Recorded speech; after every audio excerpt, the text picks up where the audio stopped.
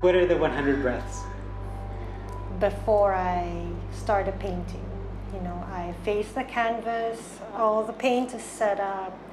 Um, I face the canvas and I breathe 100 breaths.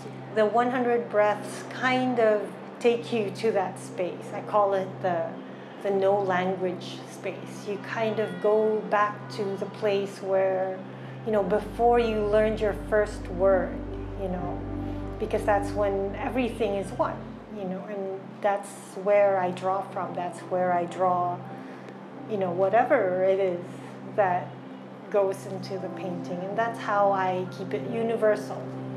This kind of builds up the energy inside me, and usually at the 30th or 40th breath, I want to paint, I want to paint, I want to make that first stroke. I know what to do, you know but I have to finish those 100 breaths so that, you know, I'm just ready to just explode on a painting.